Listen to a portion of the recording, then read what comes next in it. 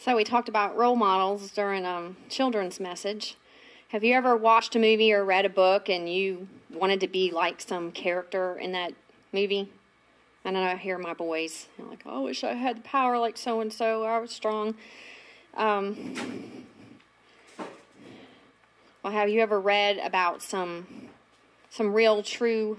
I want to say a real true to life person and then when you read about this person you wanted to change your, your life focus. You wanted to change your goals maybe your ambitions and your plans. I had that happen quite a few times in my life. Um, have you ever heard the story of the hiding place? Anybody? Yep. Corrie ten Boom? All four of the books. okay. And this is one that i can distinctly remember even when i was i was nine years old and i watched the hiding place. Of course then i wanted to read the book for those of you are not that are not familiar with Corrie ten Boom, I'll quickly tell you her her background and how this affected me. She was the daughter of a Dutch watchmaker, and she was a Christian. Along with her father and other family members, they helped many Jews escape the Nazi Holocaust during World War II. They hid them, much like you hear about the Underground Railroad. You know, the slaves, they were hidden. These people hid the Jews and they helped many of these um, escape. So they built a hiding place in their living quarters for the Jews. They would provide ration cards for them so they would have food to eat. They would have drills so they could practice hiding. And eventually they would pass the Jews off to safety through an underground network, all the while knowing this could mean imprisonment for them if they were caught. Eventually, the entire Ten Boom family was arrested. All of them were set free except for Corrie, her sister Betsy, and her father. And I can't remember how old they were older at the time. I mean, I think that Corrie and Betsy were in their 50s, so father had to have been in his 70s. Um, Corrie, Betsy, and the father were sent to concentration camps, and her father died 10 days later. During this time in the camp, Corrie and Betsy held worship services after their long, hard days at work using a Bible they had managed to sneak in. While at Ravensbrück, the prison camp, the sisters discussed plans for a place of healing after the war was over. Well, Betsy's health continued to deteriorate, and she died on December 16, 1944, at the age of 59. Fifteen days later, Corrie was released. Afterwards, she was told that her release was due to a clerical error, and that a week later, all the women in her age group were sent to the gas chambers. So Corrie ten Boom returned home in what they called the hunger winter. This was during the war. There were not enough supplies. This was a famine that took place in the Netherlands. There was a German blockade. They wouldn't let, you know, shipments through. But she opened her doors to people and fed them, especially to the mentally disabled. And mentally disabled, you know, they had to hide also because they were deemed un, unworthy, unacceptable, and the Nazis would get rid of them as well. Well, after the war, Corrie returned to the Netherlands to set up a rehabilitation center for concentration camp survivors and accepted anyone in need of care. She returned to Germany in 1946 and met with and forgave two Germans who had been employed at Ravensbrück, one of them who was particularly cruel to her sister Betsy. She went on to travel the world as a public speaker and appeared in more than 60 countries. She wrote many books during this time. And um, she, I think she lived until she was 93, but she kept serving and sharing her story and sharing Christ. But I remember, I mean, I, I like the book so well, I read it again. I'm not one of these people like to read stuff that much. I mean, not over again, I like to read. But anyway, as I read the story, I was impressed with her life and she told of a time when you know the Jews needed these ration cards, and she went in faith and asked for a hundred of them from this this guy that was kind of working for the government, and she got all hundred of them. So when I, I read about that, it was I, it made me want to have that kind of faith. I wanted to have that faith to ask and receive. And when I saw and read about the brave compassion of the Ten Boom family and later, you know, for the Jews and the released prisoners, it made me want to have a compassionate heart. Reading about their Bible studies in camp, where they were mistreated and underfed, made me want a heart that loved Jesus in spite of the problems in life. So you can see how reading and hearing about someone else can stir you to want to be different. When I read about her forgiveness of the guards and her peace that resulted, I wanted to practice forgiveness like that. And seeing her life poured out for others until the day she died made me want to live my life poured out for others. I wanted my life to be about others and not about me. Well, since reading that story and watching the movie at age nine, I, of course, have read many others that have stirred my heart to change and be more like Christ. Well, in the same way that my desires changed when I read about Corrie, when we truly see Jesus for who he is, it makes us want to seek him more and to be changed. And we can see how this happened when Jesus came and walked on this earth. There were some who followed Jesus and they had changed lives because they saw who he really was. And yet there were many who came to him. They just wanted to be healed, which that's, I mean, that's great, but they were just focused on, I just want to be healed, move on with my life. And there was others. We talked about the rich young ruler. He came to Jesus because he wanted eternal life. And that's not a bad thing, but that was his focus. It wasn't, I want you, Jesus. I want to be changed. I've seen you. There was even a man named Simon who all his own interest was, I want Jesus' power. It was more, you know, I want to be either, maybe he wanted money so they would pay him to heal people, or he just wanted to be known for having this great power. But there were those who saw that Jesus was different. They saw that he had something different and they wanted to learn from him. They wanted to change and to grow and they wanted to be set free inside. We're going to look at some of these examples. Let's turn to John 1 and read verse 14, then we'll skip to 35.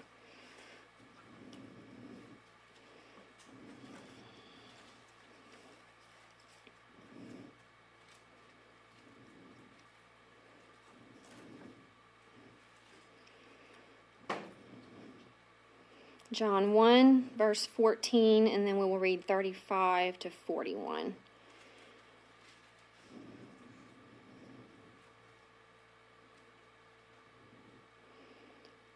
It says here, The Word became flesh and made his dwelling among us. We have seen his glory, the glory of the one and only Son who came from the Father, full of grace and truth. Then we'll skip down to verse 35. Now, between these verses, John the Baptist is preaching, he's baptizing people, and he baptizes Jesus. And it says in verse 35 the next day, John was there again with two of his disciples. When he saw Jesus passing by, he said, Look, the Lamb of God. When the two disciples heard him say this, they followed Jesus. Turning around, Jesus saw them following and asked, What do you want? They said, Rabbi, which means teacher, where are you staying? Come, he replied, and you will see. So they went and saw where he was staying, and they spent that day with him. It was about four in the afternoon. Andrew, Simon Peter's brother, was one of the two who heard what John had said and who had followed Jesus. The first thing Andrew did was to find his brother Simon and tell him, We have found the Messiah, that is the Christ, and he brought him to Jesus. So these disciples listened to Jesus, but how did truly listening to Jesus change their attitudes and their goals? Well, first of all, they followed Jesus. They left their nets, they pl- left their plans for the day, and they also brought someone else to Jesus. Another example is Mary Magdalene. Does anybody know anything about Mary Magdalene? Any of you kids? What about her? Do you know anything about her? What did Jesus do for her? Jesus cast seven demons out of Mary Magdalene.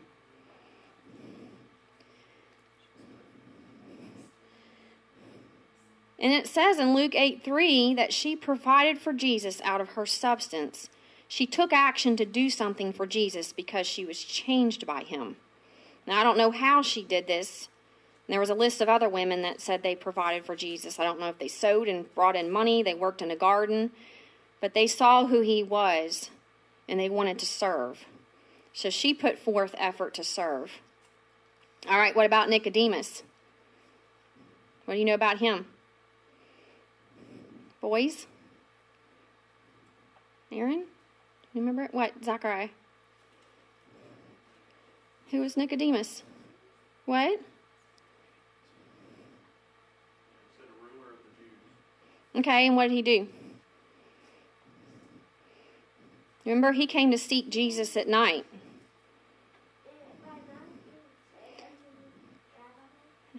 Okay, he wanted to understand who Jesus was. His whole purpose was I want to understand who you are. I want to understand what you're teaching. What am I supposed to learn from this? So let's turn to um, after he met with Jesus and had this big old long discussion. Let's see how this changed his life. Let's turn to John 7 and read verses 50 and 51. John 7, verses 50 and 51.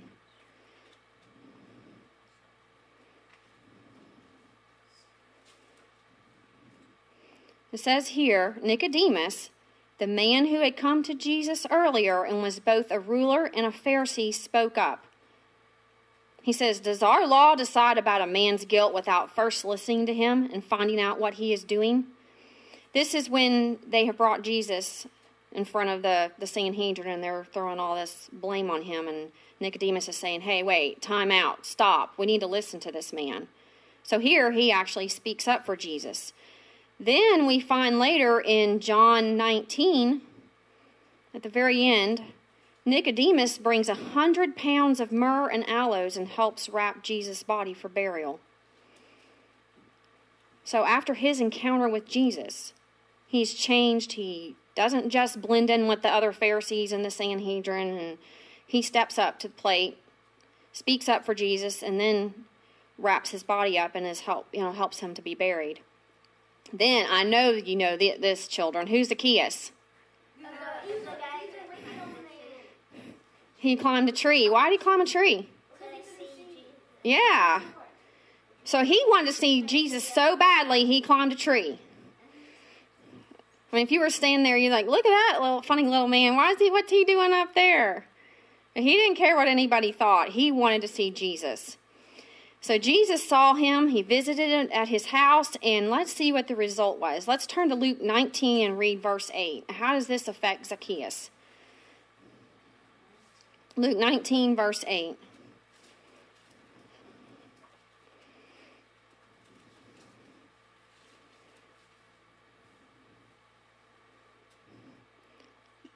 This is what Zacchaeus says to Jesus. He says, Look, Lord, here and now I give half of my possessions to the poor, and if I have cheated anybody out of anything, I will pay back four times the amount. So that'd be like if you broke your friend's toy that costs $20. Four times that is 80. You'd be willing to pay back $80? So Zacchaeus' encounter with Jesus resulted in a changed heart that wanted to make things right. So, what do all these people have in common? They sought Jesus and they were forever changed. They didn't just want a better livelihood, more money, ease, comfort, etc. They wanted Jesus. So people in biblical times sought Jesus because they saw his character, his love, his mercy, truth, compassion. Like it said in um, that verse in John, they saw that he was full of grace and truth. And when they saw this, it caused a change in their hearts, which we can see by their resulting actions. Well, the same can happen to us when we encounter Christ. And where do we encounter him? In his word. So, we're going to use just a couple examples. Let's turn to Isaiah 40, and we will read verses 21 to 31 and see how encountering God can help change us. 40, verse 21 to 31.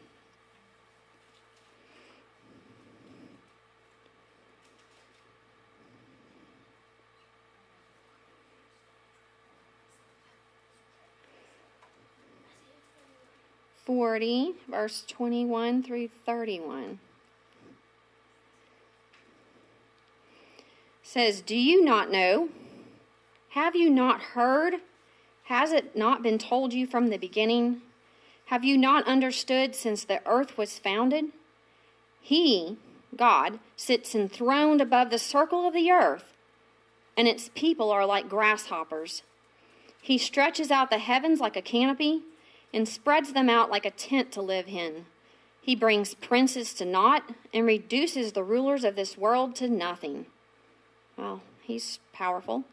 No sooner are they planted, no sooner are they sown, no sooner do they take root in the ground than he blows on them and they wither, and a whirlwind sweeps them away like chaff.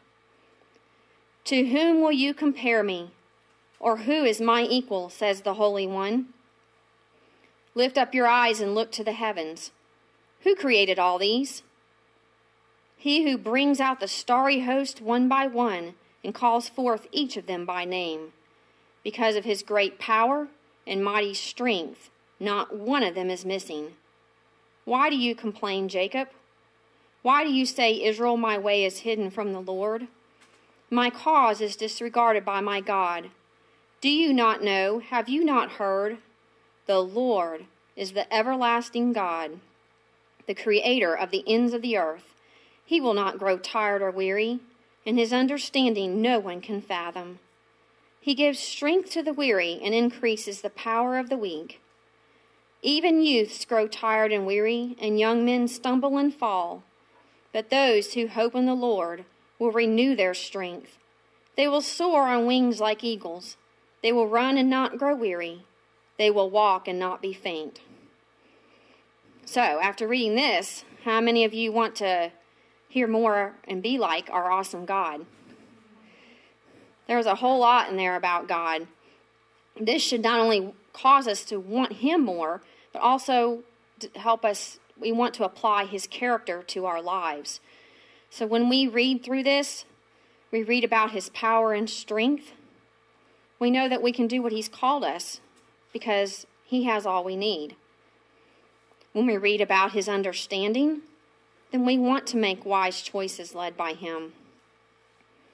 When we read that He never grows tired or weary, we know that we can press on in the face of trouble. And then you can remember even reading about the children of Israel and all of God's goodness to them, even when they griped and complained.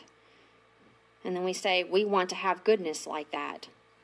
So as you read powerful scriptures like Isaiah, or whether it's a story about how he is kind or good, we it's just like watching those movies and we say, hey, I want to be like that character. Well, it's the same thing here. I want to be like you, God. I want I want that.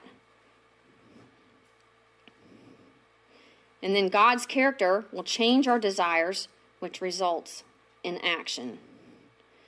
So let's turn and we'll do another one, read about God and how that can change our desires. We're going to read Psalm 90, verses 1 through 4. Psalm 90, verses 1 through 4.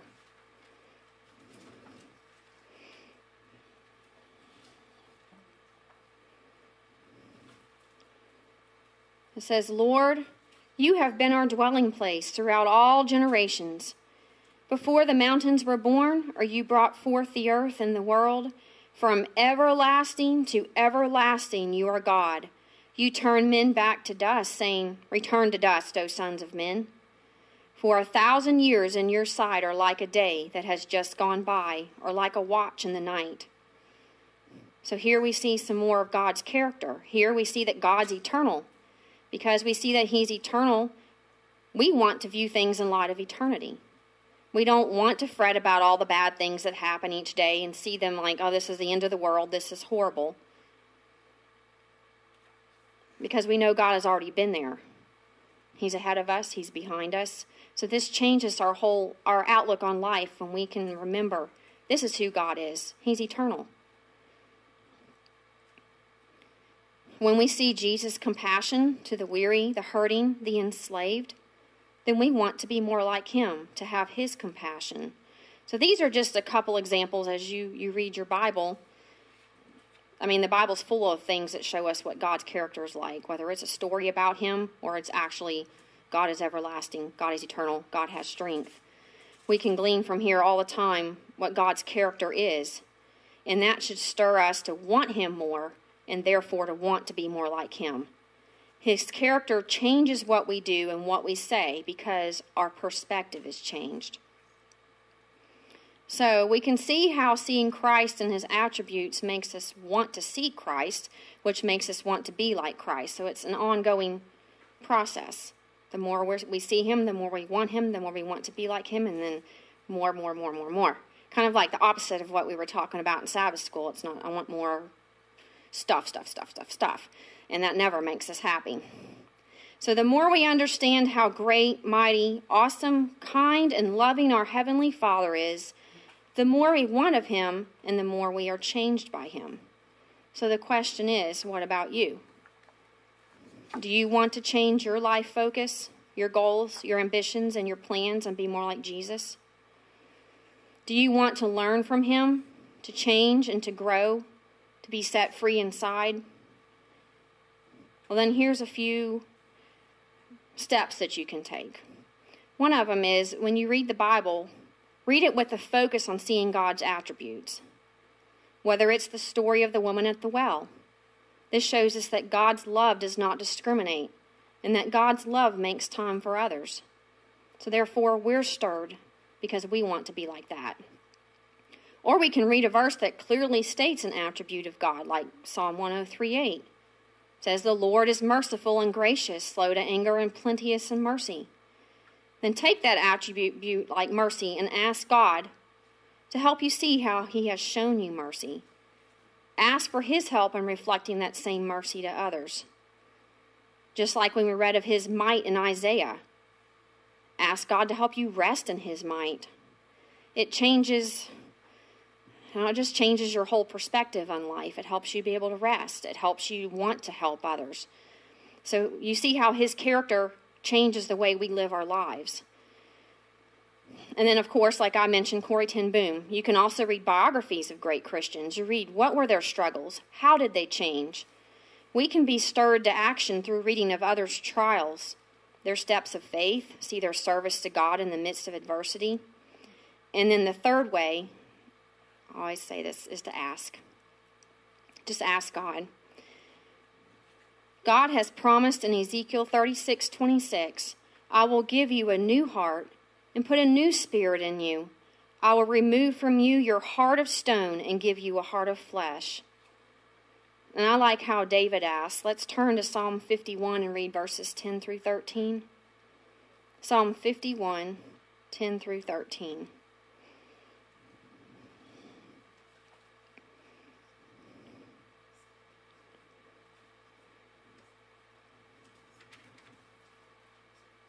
Says, Create in me a pure heart, O God. Renew a steadfast spirit within me. Do not cast me from your presence or take your Holy Spirit from me. Restore to me the joy of your salvation and grant me a willing spirit to sustain me. Then I will teach transgressors your ways, so that sinners will turn back to you. So here we find that David is asking God to do the work, to create in him a pure heart, to renew a steadfast spirit, to give him a willing spirit.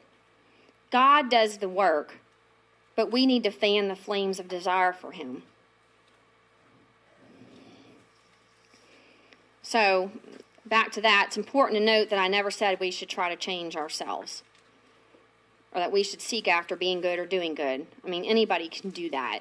I mean, we can't always change ourselves, but there are things that we can change. I know plenty of people who are not Christians who are great, wonderful people. They have changed themselves and decide to be good.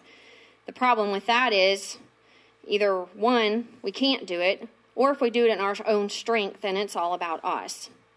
But if our focus is, God, I want to see you, I want to understand you, I want your character, I'm going to read about you then it's as if his character is changing us instead of us making ourselves be good. If that makes any sense. So God's word says to be transformed by the renewing of our mind. So in order to be changed in God's likeness, we need to read about him, spend time with him, seek him with all of our heart. These things will change us and give us a greater desire to be like him. As we come to know him more, Just like the disciples, we'll be willing to leave our plans for the day and carry out the Great Commission by bringing someone to an awareness of Jesus. Like Mary, we'll serve Jesus by serving others. Like Nicodemus, our involvement in the lives of others will increase. And like Zacchaeus, we will want to make things right with whomever we have wronged. So don't just perfunctorily, can't get that out, read his word, study it. Study God's attributes and ask God particularly for that attribute to become a part of your character. When we fully, with radical abandonment, encounter Christ, His love, His mercy, His steadfastness, His compassion, and any other great and wonderful character trait that we see in Him, then our heart will change and result in action for Him, for His glory, not ours. We can tell Him, Father, when I see who you are, then I want to change in who I am. Let me see how great, mighty, awesome, kind, and loving you are, because I want to be forever changed by you. I want to close with one more verse 2 Corinthians 3, verse 18. 2 Corinthians 3, verse 18.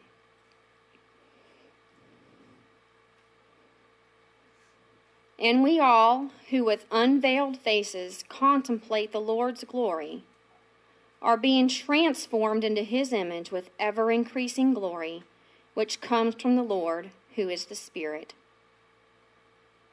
So let's contemplate God's glory, his character, this week and be transformed. Amen.